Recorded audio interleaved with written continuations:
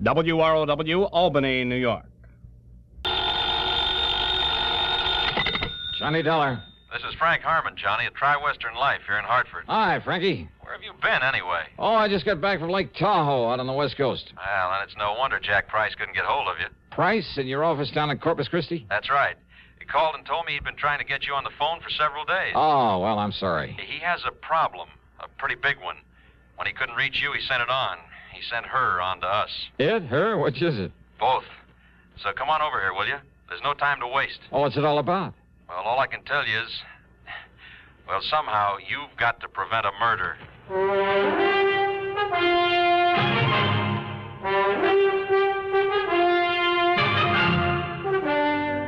CBS Radio brings you Bob Bailey in the exciting adventures of the man with the action packed expense account, America's fabulous freelance insurance investigator. Yours truly, Johnny Dollar.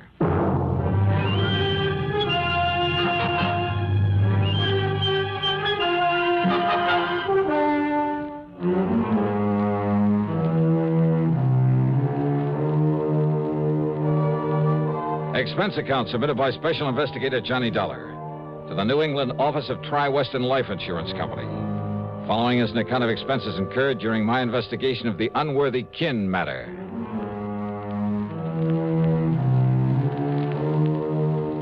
After the Lake Tahoe mess, I was ready for a nice long rest. But a job's a job. So expense account item one, a dollar ten for a cab back to Frank Harmon's office at Tri Western in the big new building on the square. Glad you finally got back here, Johnny. Hiya, Frankie. Yeah, sit down. I'll get right to the point. Okay. Try to give you the whole story before she gets here. Who's she? Name is Jean Unworthy. Unworthy. That's right. That's a funny one. well, our little problem isn't very funny. Now, listen. I'm listening. About four, maybe five years ago, up in Ypsilanti, Michigan, a prominent businessman was killed by a guy named Eric Bean. Oh, you're telling me. It was a ruthless, pointless, wanton murder. Simply because the victim refused to give him a few bucks. And the defense tried to get Bean out of it on grounds of temporary insanity. Yeah, that's right. But instead, they sent him up to the Michigan State Prison, gave him life with no chance of parole. Oh, yeah, I remember. It just happens I was in on that case. Hmm? Oh, of course. Of course you were. Well, all right then. Well, I didn't play a very important part in it, I have to admit, but I was there. And you were there during his trial. From the first to the last gavel. Yeah, and you know what Eric Bean did when the judge pronounced sentence on him. Yeah, that's right. Because it could be that Bean thought his remarks were partly aimed at me. I mean, this talk about getting even with everybody. All right, sure. Sure, I'll go up to your lousy, stinking prison. Order! Order in the court! But if you think you can keep me in it, you're crazy. Order! Order! Will someone restrain the prisoner? Because I'm going to get out. When I do, I'm going to kill everybody that had anything to do with filling me up. Officer, restrain that man. No! Don't take your hands off me. I'm going to kill anybody that had anything to do with. Order!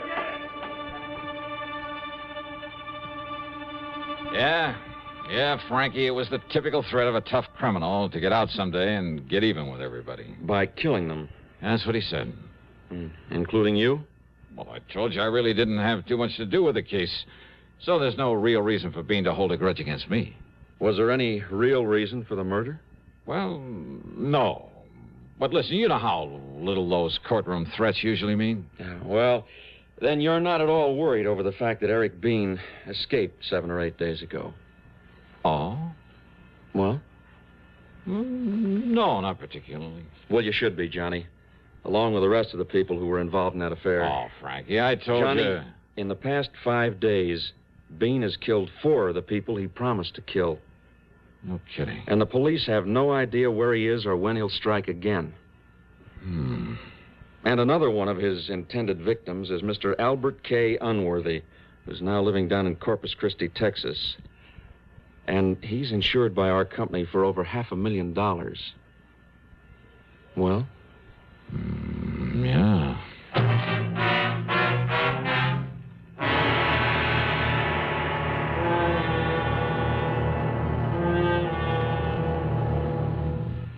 Be sociable. Have a Pepsi. That reminds me of a tip I've been meaning to give you. Whenever you buy Pepsi Cola, get an extra carton. This is the secret of effortless entertaining. You know by now that as the parties go, so goes the Pepsi. So face reality And be ready for any number of thirsts by making sure there's always plenty of the light refreshment on hand. People go for Pepsi because it refreshes without filling and does it in such a good tasting way. Come to think of it, why not buy a case of Pepsi? Then maybe there'll be enough for you to have some too. Be sociable,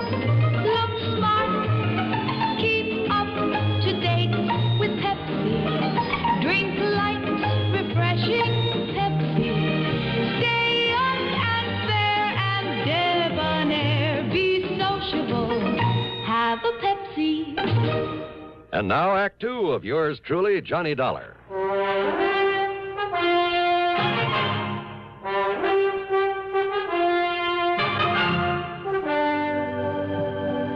All right now, Johnny. When Jack Price wasn't able to reach you, he dumped the whole thing in my lap, including the old man's daughter, Jean. She arrived here in Hartford early this morning, came in here, and demanded that you be appointed a bodyguard for her father. Oh, now listen, Frank. I phoned her at her hotel right after I got in touch with you. She's probably on her way over here to see you right now. Hey, look, Frank, I'm an investigator, not now, a body. listen, buddy, buddy. Are you forgetting Eric Bean may have you high on his list, too? So what? So what? If I keep my eyes open, my, my manners and my. Oh, I see. What? Yeah. Put two of Eric Bean's intended victims together. Give him a wide open chance to kill two birds with one stone, so to speak, and he's almost bound to show. Yeah, so the cops who've been standing by pick him up along with our two bodies. And the company has done a great public service. Hooray. No, that wasn't what I was thinking of at all. Frank, I couldn't go down there to Corpus Christi right away anyway. Why not? First thing tomorrow morning, I have an appointment in New York with an attorney for a deposition in that Lake Tahoe case I just wound up. Oh, so you lose a few hours. and what's more, I hate those bodyguard assignments, and you know it.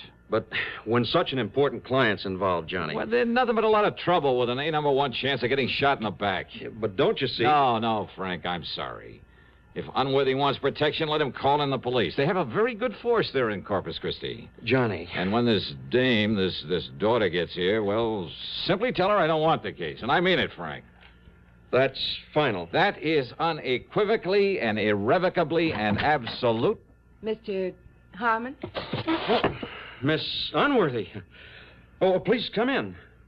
Huh? Thank you. Yes. Come in and meet Mr. Johnny Dollar. Hi, Johnny. Suddenly I changed my mind. Even as that whole office suddenly seemed to change and take on a strange and wonderful glow. She was, so help me, one of the most beautiful girls I've ever seen. Tall, uh, but not too tall, with honey colored hair and a complexion that, and a figure that, and a twinkle in those baby blue eyes that, oh, what's the use? The right words simply aren't. Not to describe this one. Wow. Well, uh. oh, s- sit down, please, Miss Unworthy. Oh, thank you, Frank. But I told you this morning to please call me Jean. Oh, yes, of course. I forgot. And that goes for you, too, Johnny Dollar. Oh, sure. Uh, Jean, I, uh, sure. Can you leave with me right away, Johnny? I mean, for Corpus Christi? I hope you told him how urgent this is, Frankie. Well, yes, I did. Then Well- you will come and watch over Daddy until they catch this murderer, won't you, Johnny? Well, now, Jean. Yes, Well, I. That is, I. yes. Johnny? Well, I have to be in New York first thing in the morning to see an attorney. Oh, well, that's just fine then. Because I have an early morning date in New York with Madame Olga Marino before I go on back home. Oh? You know who she is? Oh, well, uh, sure, I've heard of her, but I, I, I never thought anybody in the world actually had enough money to buy those clothes, those gowns that she designed. Oh, now you're kidding me, aren't you? Well, you know. But I just love having her things. Oodles and oodles of them. Uh-huh. So we'll go down to New York tonight. I'll be staying at the Pierre, so you stay at the Pierre. We'll have a ball. We'll really do the town. Oh, I just love New York. Well, now, then I. tomorrow morning, while I'm getting some dresses and things, you can see your lawyer, and then we'll take off for Corpus Christi together. Jean. But come on, hon. We'll have to hurry if we want to make the four o'clock plane to New York. Well, And uh, Frank, dear, thanks so much for finding Johnny. I feel better. I feel that Daddy's safer already. Expense account item two, twenty-one fifty for a cab and plane tickets to New York for the two of us. With this charmer in tow, well, believe me, it wasn't easy, but I realized that with an important assignment on my hands, I better play it safe and behave myself. So, down in New York, item three is 950 for a taxi to the Pierre, where I dropped her off, then to the Gotham, where I got myself a room. That evening, the tab for cocktails and dinner at the Pavillon, no less, came to $58. And I was pretty impressed by the maitre d's immediate recognition of her and his disappointment at the smallness of the bill she'd run up. Oh, and uh, tips, by the way, came to $14 more. Then the evening really got underway via the nightclub route, and I mean only the most expensive nightclubs, where again she was recognized by all the maitre d's. And the total bill by the time I dropped her off at the Pierre shortly after 4 a.m., only $130, including tips and taxis, of course. I hope my deposition the next morning in the attorney's office made some sense because I was bushed. But then, after leaving him on the way back to my hotel, I picked up a newspaper, and I nearly blew my top. Item five, six, whatever it is, 85 cents for a call to Frank Harmon back in Hartford. Now, now, Johnny. And it was you who gave that story to the wire services about my going down to Corpus Christi to save the life of dear old Albert Unworthy. But, Johnny, you yourself suggested it might help to flush out this killer. Oh, yeah, sure. Make it easy for him. Get two of us in one trip. Thank you very much. Item 7, 287, 50 plane fare, tips and incidentals for the flight to Corpus Christi. And by the time we got there, well, I don't know. I don't, know how to say it. But, uh, well, that, that genie is not only the most beautiful, the most charming. Well, put it this way by the time that flight was over, if Jean had said, Come on, Johnny, let's get married, I think I might have taken the leap without one single thought about the consequences. And after we landed and she stepped into a phone booth to call and make sure her father was still all right, well, I was almost annoyed at the sudden appearance of an old pal of mine, Doug Johnstone, kid brother of Jack, who dramatizes these radio cases of mine. How'd I know you were coming down here? With Johnny, it's all over the papers. Yeah, I was afraid of that. Oh? Yeah, but uh, how are you anyway, Doug? Oh, I couldn't be better. Hey, uh, hey, boy, you certainly pick 'em, don't you? Uh, what do you mean? Your, uh, traveling companion, Jean Unworthy. Oh, yeah. What do you know about her father, Doug? Well, I kind of thought you might want a little help while you're down here. That's why I came to meet you. Oh? Yeah, now, uh, here's what we ought to do. You, uh, put her in a taxi. Her home isn't far from here. Then you and I'll run on down to my office and talk a while, and I'll drive you out to their place later. Uh, well, now, wait, I Doug. think that's a very good idea. Oh, Jeannie, yeah. This is an old friend of mine, Doug Johnstone. Hi, Jean, Doug. I- I've uh, always looked forward to meeting you. Well, how nice. And my, I'm meeting more good-looking men these days. Johnny, Doug's right. See, it'll give me a chance to kind of freshen up and prepare the royal welcome for you here in Corpus Christi, all right? Well, I uh, kind of So you go ahead you... with Doug, and I'll see you at the house later. Taxi! Taxi! Huh? Okay, Doug, let's go.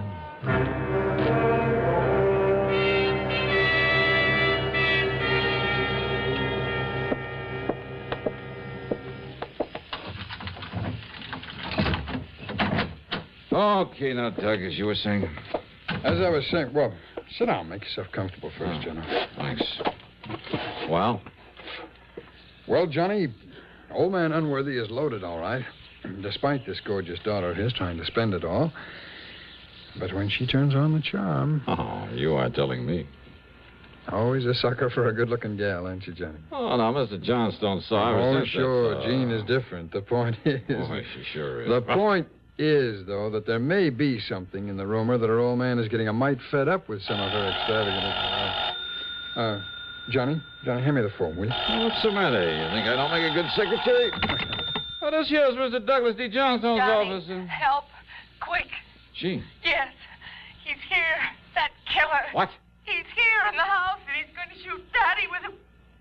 No. No, please. Ah! You killed him.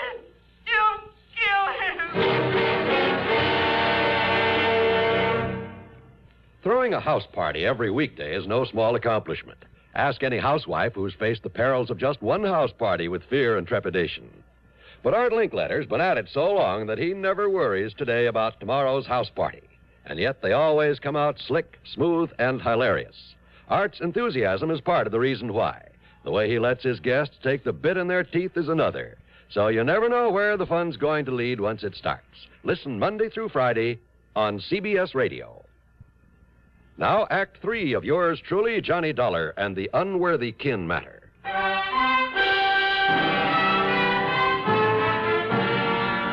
Doug Johnstone and I tore out to the house, and yeah, Mr. Albert K. Unworthy was dead, all right. Three neat, clean bullet holes in his temple. His daughter Jean was a, a wreck. One sleeve of her dress was torn. There was a red welt on her cheek where she'd apparently been struck by the killer. Oh, Johnny. Johnny. All right, now easy. It was so terrible. So awful. So terrible. Okay, now, honey, just try to take it easy and remember exactly what happened. Why did it have to happen to him? It was so good. So wonderful to me ever since the day that he adopted me, and now he's. Take oh, it easy. Now, who else was in here, Jean?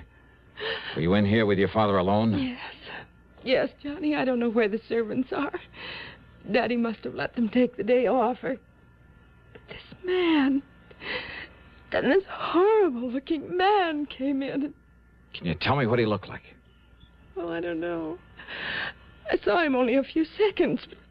He was short, and he was heavy, heavy set, and that thick black curly hair that came down to a point on his forehead.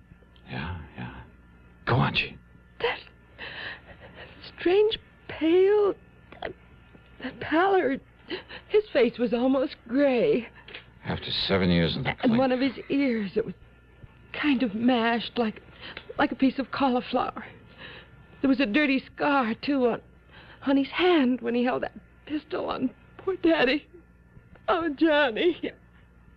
And his height, his weight. Have you any idea? Oh, I don't know. He was maybe, maybe five feet seven or eight. And he was heavy. Maybe 180 pounds or something. He was stocky. You ask me, that fits the newspaper description of Eric Bean almost to a T, John. Had you ever seen Eric Bean before, Jean? No, no, Johnny. And there was that wild animal look in his eyes. And he came rushing in here with that gun, and I tried to call you, but he he knocked me down, and he and then he.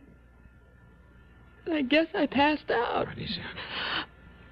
Oh, Johnny, please help me. Yeah, sure, sure. You want to call the police, Doug? Sure. Doug not only called the police, but the family doctor. And after Jean had given the police all the information she could, the doctor gave her a mild sedative and sent her up to bed. By that time, Jean's personal maid had come in, so after assuring her we'd do everything we could. Johnny. Johnny, dear, don't you see? Now, you may be in danger from. Oh, dear. I guess whatever the doctor gave me, I. I can't stay awake. We'd come back, dear. Come back.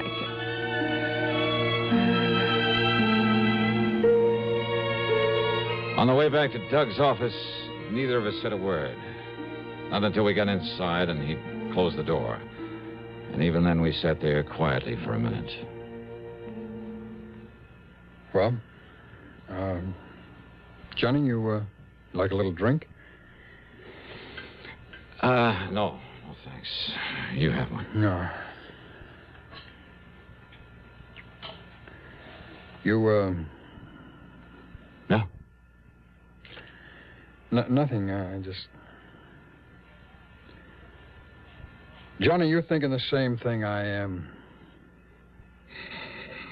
Yeah, Doug, I guess I am. Mind if I use your phone? My call was to the police, not there in Corpus Christi, but in Ypsilanti, Michigan.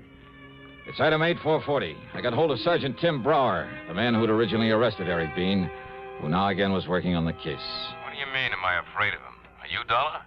Well, I I expect I ought to keep an eye out for him. Why, you'd be away down on his list. Like maybe Mr. Albert Unworthy and. Uh... Yeah, like Unworthy and Phillips and Mrs. Peterson and half a dozen others. The only ones he's trying to knock off now are the people whose testimony really set him up. But we'll get him before he does. Because he's just crazy enough to have set himself a very obvious little pattern in these four new murders. Yeah, what kind of a pattern, Sergeant? All the people around here, and in the order of their importance in the case. Oh? First was the judge, Judge uh, Henry Packham, who actually set the sentence. Okay, Sergeant. Then the chief prosecutor, Mr. Frederick Wallman. Okay, Sergeant, that's all I need to know. Then there was. Huh? Well, Johnny? Yeah, well, I, I guess you tipped me off, Doug, when you said something about her father getting fed up with her extravagance. Her foster father? Oh, yeah, she told us that herself. Huh? Adopted. There was no real blood bond between them. So, I, I suppose it's no wonder she was taking him for all she could. And when she found he was going to pull back on the reins. I'm afraid her description of Bean is what stopped me. Too perfect. Hmm. I mean, when a man suddenly barges in, knocks her down, and fire. and fires. Yeah. Three bullets into his skull. But when she said he was going to kill him, and we heard only two shots. Only two, Doug. Yeah. Johnny, you want me to go along with you? Just, uh. Let me use your car. huh? Sure.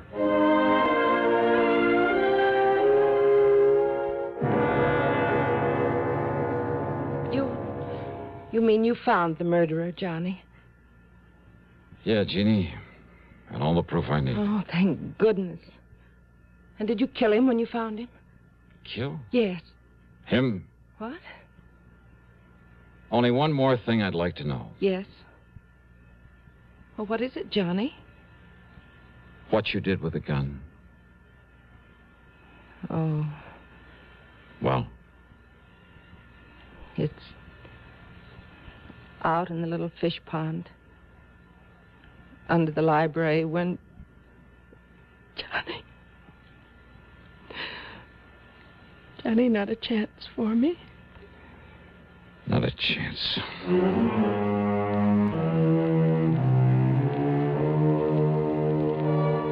And I learned about women from her.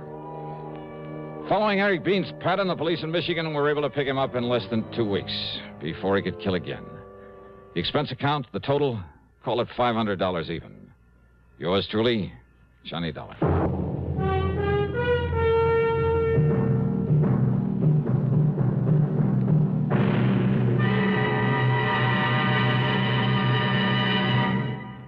Constipation is something people don't talk about much, but it can be a problem for anyone, even doctors. And when constipation occurs, it's interesting to see just what doctors consider important about a laxative they might use or recommend. Well, a majority of the doctors we heard from had this to say. A laxative should be effective, gentle, close to natural acting. A medicine that can be used with complete confidence. Now, Ex-Lax has been popular with many doctors and millions of people over the years because pleasant tasting chocolated Ex-Lax is effective. Overnight, it helps you toward your normal regularity. Ex-Lax is so gentle, so close to natural acting, there's no upset. That's why many doctors and millions of people use Ex-Lax with complete confidence. Ex-Lax, the laxative that helps you toward your normal regularity gently, overnight. Now, here is our star to tell you about next week's story. Next week, the what goes matter is just what it sounds like a real puzzler. So join us, won't you? Yours truly, Johnny Dollar.